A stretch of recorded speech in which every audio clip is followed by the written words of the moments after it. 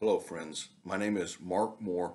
I'm the author of the book Early Genesis The Revealed Cosmology. I believe there's a link to it on Amazon in the description part of this video. Now, my topic tonight is going to be the, the dates as calculated by, by Bishop Ussher for Adam and the flood. And, and Orthodox Jews use very similar method. They use the same method, but they come up with slightly different dates. And I'm going to talk about some of the reasons for that too. But my, I'm going to make the case that the text does not really support using Bishop Ussher's methods. I mean, I'm sure he was a great man. He seemed to really care about the truth about the Word of God and what it said. But there's a couple of subtle things. If you if you don't catch them, you don't see that the text is really showing that that, that is not a good method. The method he used is not a good method to calculate dates. At most, it can give you a what I would call a theoretical minimum date. It's going to be too young. In other words, the dates you will get from using Ussher's methods are too young. Now, and, and of course, I, I do this in hopes that what I'm trying to show you is there's a lot of theology about early Genesis that's not in the Bible. Okay. The people that are believing it, a lot of times they don't really understand what it is they believe. And this is very important the critics of early Genesis, the ones who use it to accuse God, the ones who use it to say Christianity and the Bible are nonsense, they do not understand what they're criticizing.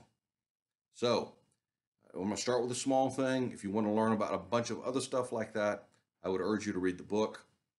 It, it's I'm not even going to talk about everything I've talked about in the one chapter here. I, I talk about when was Adam, but I want to just here talk about one slice of that chapter. Why Ussher's methods do not produce an accurate date. So let's start with the text. Two great genealogies. One is in chapter 5, one is in chapter 11. They both have a very similar format.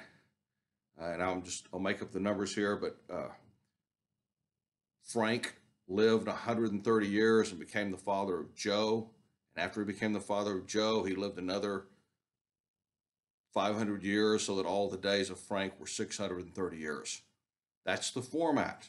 Now, in, in uh, chapter 5, they leave that last line off. It's a trivial calculation, though. But other than that, it's a very similar format. And so it, it would give the impression, if you're not watching closely, that you could just take the number of years from the birth of one generation to the birth of the next and just keep doing that until you get to a date you you think you know like most people think the birth of Abraham was about 2000 BC.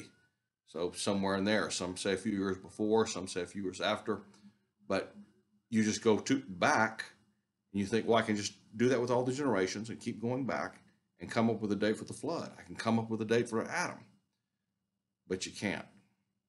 Let me give you a couple of examples why I say that from the text. Go to the end of chapter 11, the start of chapter 12. We read about Terah, and Abram, soon to be Abraham, so I'll call him Abraham.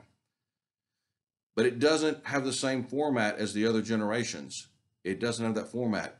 It, it doesn't say he, he just had one son, or in this case, he had so and so and he had other sons and daughters. It says Terah lived 70 years and became the father of Nahor and Haran and Abraham.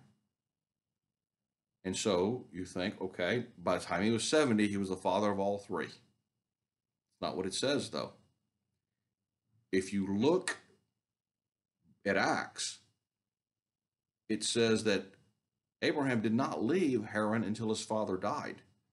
And it gives the age at which he left, which was 75. That's in Genesis chapter 12.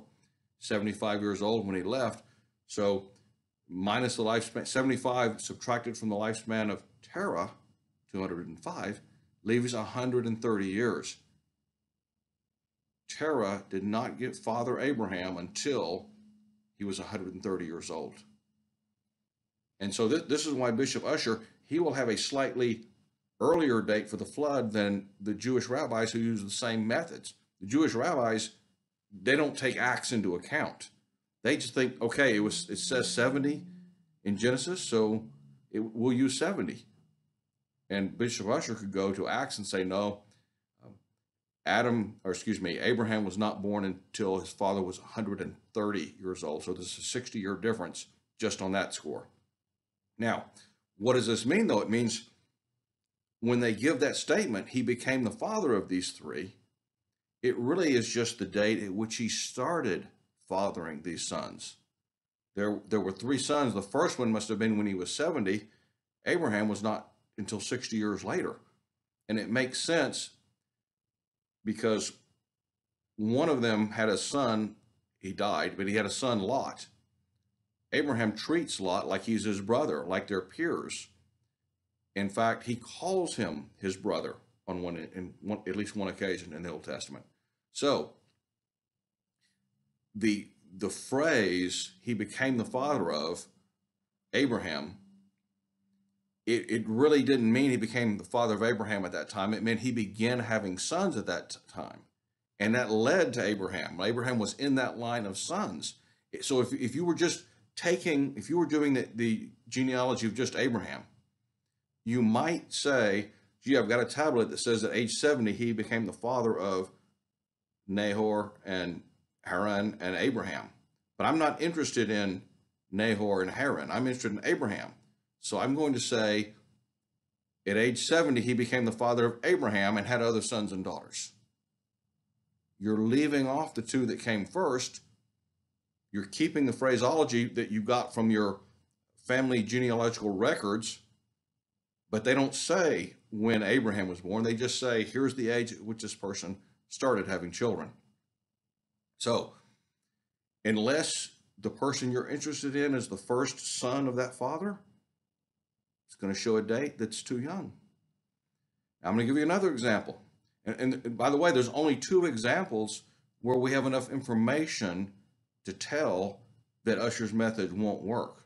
And that is with Terah and his sons and with Noah and his sons. But in both of those cases, Ussher's methods give a date that's too young. For example, Genesis goes back there in Genesis chapter 5 and says, Noah, same thing as it said about Terah. Noah lived 500 years and became the father of Shem, Ham, and Japheth. Okay? But later on it says that Shem lived 100 years old, and two years after the flood, he gave birth to En- uh, his son, I believe it was Enos. So that means that Noah fathered Shem when he was 502, not 500. Now, we know that Ham is the youngest. It says elsewhere that Ham is the youngest. There's also a verse of scripture that tries to tell between Shem and Japheth, which is the oldest, but it's so ambiguous that people translate it differently. But I'm telling you, Japheth was the oldest.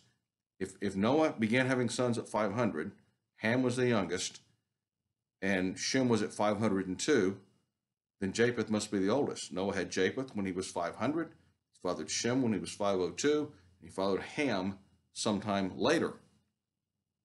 So if you're doing a genealogy, uh, but but Shem is the one you're interested in, you just you don't you say Noah at 500 years old became the father of Shem, and he had other sons and daughters, or the sons in this case. So, but you would lose two years if you do that, because Noah had Shem at 502, not at age 500. So, in both these cases, the listed date is just the date that person began fathering children. It may not be the person listed as the next patriarch might not be the one who was born that year but he began but the his father began to have children that year and this one guy was the next in line so there's only two examples both of them undermine Ussher's methods just imagine yourself you you're noah or you're terah or abraham these, these are the people i believe assembled the tables in genesis chapter 5 and genesis chapter 11 You've got all these records from your family. They all read about like what you saw. They list the age the person began having children, and then they listed all the children. Yours may have been fifth in line, but you don't know what year he had your particular ancestor that you're interested in. You just know the year he started having sons. And so that's what you put. And then instead of putting all the sons' names in there, you just put the one you're interested in, even though he didn't happen, he didn't come along until 50 years later, 60 years later, more or less. But you put him and then you say, and he had other sons and daughters. So they did not intend for time to be tracked the way Bishop Ussher and the rabbis are tracking it. Now, I do believe that, that they used the genealogy to track time, particularly the one in chapter five. And I, but I don't want to get into exactly how they did that. Get the book if you're interested. Right now, I just want you to take away Ussher's methods do not, do not produce an accurate date. They may produce what would be called a theoretical minimum, which would be the truth would be somewhat older than that. Uh, the way I'm using them, there's also a theoretical maximum, and that would be Adam is at most 14,000, around 14,000 years ago.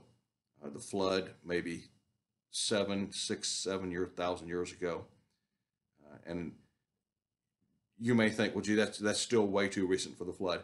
It's not if you read the book. If you see the Christ centered model, it, it's really not. If you see what the text is really saying, it actually fits quite well with what we know uh, about the world, what we know about mankind.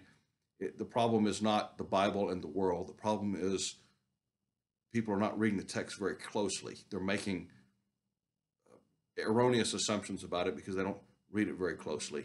And uh, they make it say things that it doesn't really say.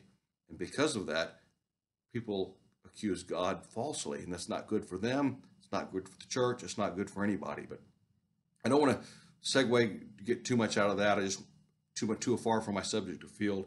I just wanted you to see that those dates that, that Bishop Ussher have calculated, they're not good dates. The method that he was using is not a method that the people who compiled the genealogies expected you to use.